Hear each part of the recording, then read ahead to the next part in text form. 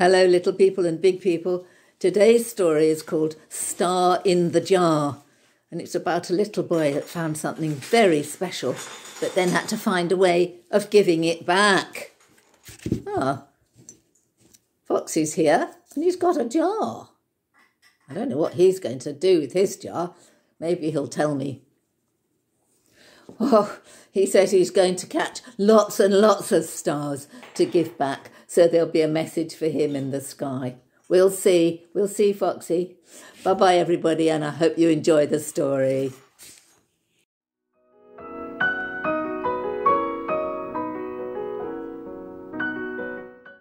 The story is called Star in the Jar. It's by Sam Hay. The illustrations are by Sarah Massini, and it's published by Egmont for parents and carers. Okay, we'll begin. My little brother likes looking for treasure. Look, he's got a, a feather, and his sister is flying her kite. I hope it doesn't get stuck in a tree. And here's somebody pushing her baby, somebody taking a dog for a walk, a boy playing football with a dog, and some children going up and down the slide and playing in the sandpit. What a lot to look at. So, my little brother likes glittery treasure, even litter bin treasure. But one day he found something extra special. Look at it there. His sister is looking at him. So special, I thought it must belong to someone else. Look, they're both looking at it, sitting at home, having a look at it. Do you know what it is? Let's see. We asked the helpful girl from school, but she said it wasn't hers. Look, it's a star. She didn't know about it. We showed it to the dinner lady. Look, we've got this. And she said it wasn't hers either. We asked the sheriff, but he shook his head. The fairies hadn't lost it, nor had the wizards.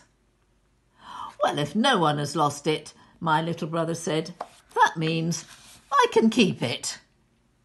And look, there's so many wonderful little pictures here that you can look at. But the star, the little boy has still got a star. My little brother loved his new treasure. Look, he's put it in a jar. He's got it in the cardboard box.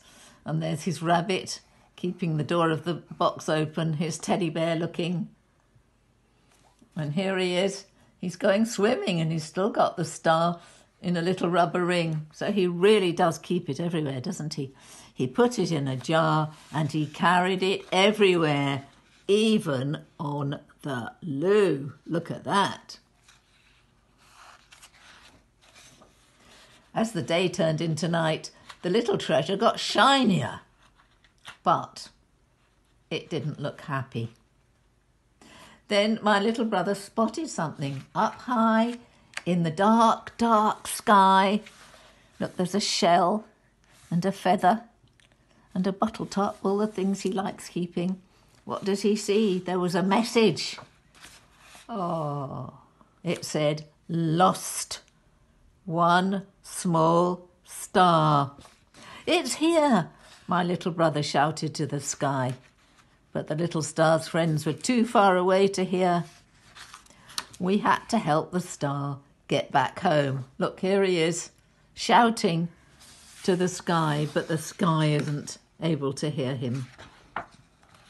We tried climbing up high. Look, there they have climbed all the way up the tree, teaching it to fly with a kite and bouncing the star up back to the sky. But nothing worked. Maybe the little star would have to stay in the jar forever. There they are on the bouncy trampoline. Look, it's not working at all, is it? Then an idea popped into my head. I raced indoors and looked in every cupboard and every drawer. What a mess! I found flashlights and fairy lights, book lamps and bike lights, armbands and head torches. What is she going to do? and we sent the message back. Hasn't she been clever? Look. And they've both got their their headlamps on so they can see, and they've made a big star to say to the stars in the sky, Here's your little star.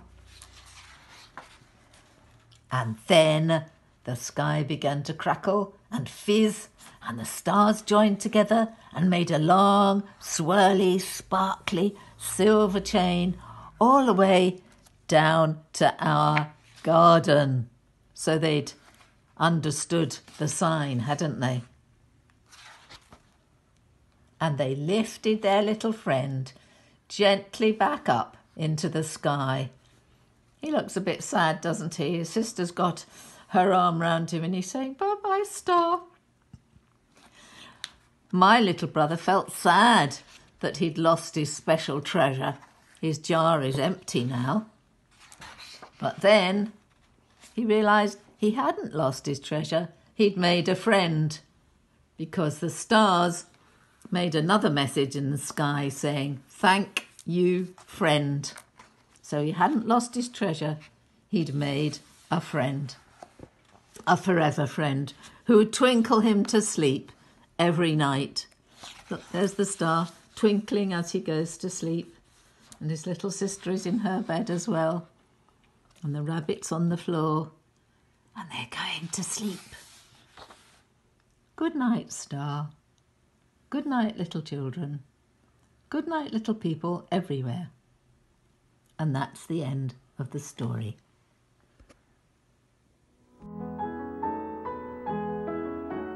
When you've listened to the stories, please ask your parents and carers to subscribe to the channel. And Foxy agrees. So take care. See you soon.